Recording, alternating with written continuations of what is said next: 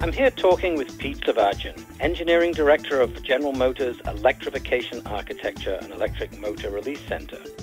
Pete's also managed product development and advanced engineering for GM's hybrid systems. Sometimes we fight for 2 and 3% more efficiency, for instance, in the inverters and the choice and design of motors. And I just wondered how that implication, the efficiency of the car, is not the be all and end all of the purchase decision uh, how you take that into a, try and balance that as you're making drivetrain decisions and architectural decisions. Well, I think the Spark EV is probably the case in point. Is that we understand that the electric vehicles have.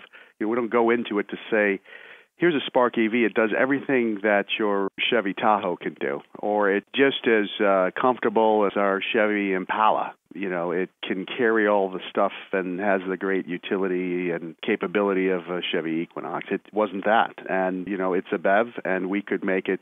You know we're very proud of its efficiency everywhere, and that is a big objective. But on the other hand, uh, I think an electric car can do quite well is just give great performance. That if we made that car with a 50 kilowatt motor, I don't think its range would be any shorter or longer than it is today with, you know, 110 or more kilowatt drive. But the car is so much more enjoyable to drive. And we know that certain things excite this enthusiasm and passion. And it's not necessarily a rational thing, it's just a fun thing. And people buy cars for lots of reasons, but we think that people like to buy fun cars. And so we made that car fun and we put more power into it and it came at a certain amount of cost. It really was the right thing to do, I think, to give that car its fun to drive character. So there are a lot of choices we can make, some of them for efficiency, but maybe the perfectly efficient automotive appliance would be boring and not have customer appeal. So uh, it all goes into the equation. We should play to the strength of what an electric vehicle has to offer, and that is we can make them quite exciting to drive, we can make them smooth,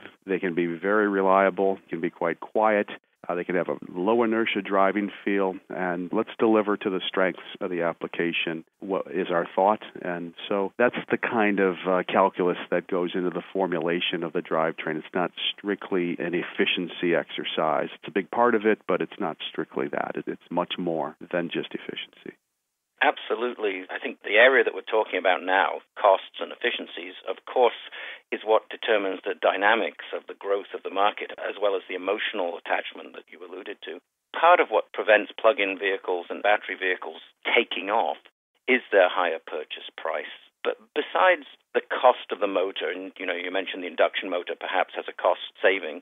What other ways do you see in the future, uh, kind of defocusing your mind for a moment, that, that we might hope for reducing the manufacturing costs of these battery and plug in vehicles?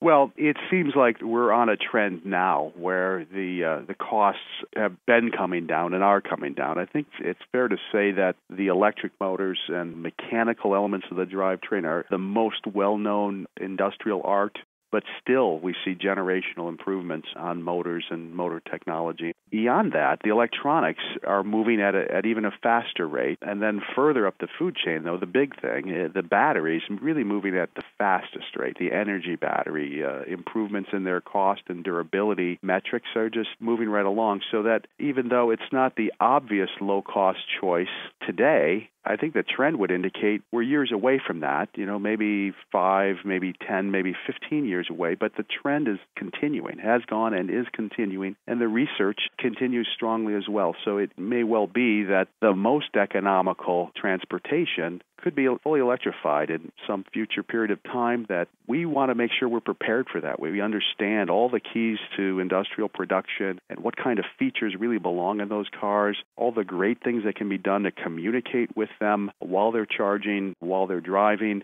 that are unique to an electric vehicle. We need to prepare for that period of time. And we think there's a market here and now for these extended range and plug in vehicles that quite substantial that we can excite, that we actually make money at in production with vehicles that have both an electric and a gasoline character. I think that kind of primes the industrial pump of technology development and generational learning of moving the technologies along in all these key areas the motors, the electronics, and the batteries. So we, GM, are participating heavily in the space because we intend to be selling vehicles for a long time.